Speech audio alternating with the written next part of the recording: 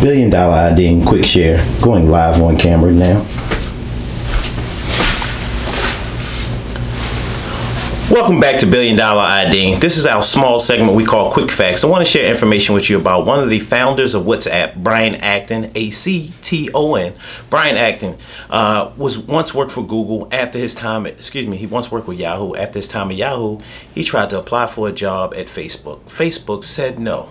This is about turning your no's into your own yeses. Some time went on after Brian Acton got the no from Facebook, and he wound up linking up with one of his old colleagues from Yahoo, who he co-founded together with, again, the app WhatsApp, which is very popular on your mobile phones. In fact, it's one of the most dominating apps on mobile phones as it is. Ultimately, Brian and his partners did an acquisition with Facebook, which one of the largest acquisitions of all time, for a multi-billion dollar deal billion dollar deal. Now, turn your no's into yeses. You didn't get that job last week. Okay, it was probably for a reason. You're probably supposed to start your own business.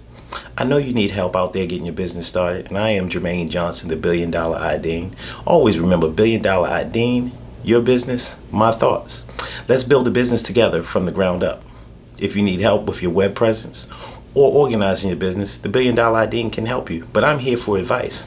You know about my professional services, so please reach out to the Billion Dollar IDean. We're here to help your business grow. Like Brian Acton, your no can one day be a yes, the Billion Dollar IDean. Share this podcast with your friends.